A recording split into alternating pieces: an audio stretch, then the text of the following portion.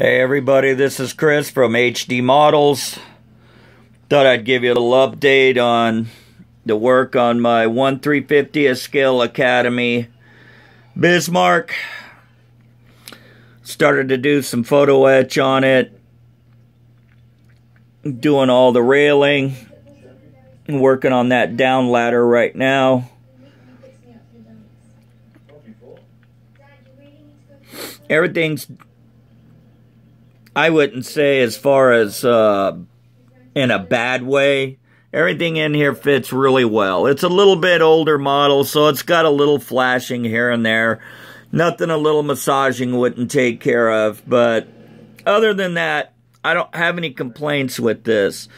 I chose not to go with the aftermarket guns only because of the simple fact that they don't really make um, the guns that go with this for Academy. And I don't want to take the chance of buying a gun set for Tamiya or whatever and it not work. And then you end up with something you paid pretty good money for to not even use. So I chose to just go with the standard guns on this. But I do have on my HMS hood, they are aftermarket barrels for it. This one I just chose not to because they're a little difficult to get, and I didn't think these looked too bad. I might change my mind as I go along, so bear with me. Otherwise than that, like I said, that, that wooden deck is kind of like the kicker for me. I, I really like it. Um, the only issue is you have to lay the deck down to know where the railing goes. If you don't and you put the railing on first and then you lay the deck down and the rail's in the way because you put it in the wrong spot, um, then you're going to have some issues. Otherwise, after this, I've got to go back and pretty much mask everything off as far as the deck goes and touch everything up. but I do have it uh, breakdown to where I, you know, it's just all, um, sorry about that. It's all just sitting here. It's not it's not glued together. So at least in that circumstances that I can just go ahead and take the individual units apart and I can paint them. So, and then, you know, I'll, uh, whoops, and then I'll go ahead and, and, um, put it back together.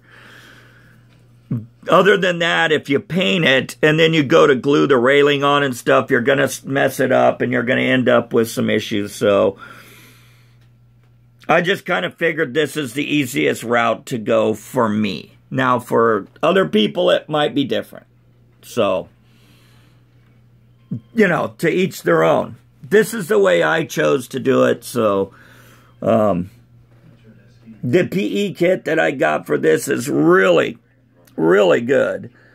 Obviously, the doors, if you uh, um, um, have them open. The back sides are just, sorry about the, the reflection, are just um, a solid piece. So the doors have to either be, you know, well, they have to be closed. And I just don't choose to buy another photo etch kit to um, get the backing of these doors. I'm not that much of a rivet counter. Um, I still have to install the um, breakwater uh, braces. I've already done one side, but I have to do the other side, um, which go. That's one side that's done. I have to put the other set over here. So Still a long ways to go. Um, I'm thinking about putting maybe a soft red light in there so that it'll light up like it's at nighttime. I don't know. We'll figure that out as it goes along. But anyways, I thought maybe I'd give you a little heads up. This is just a little update. All right, you guys, have a great day. Remember, any model, anytime. See ya!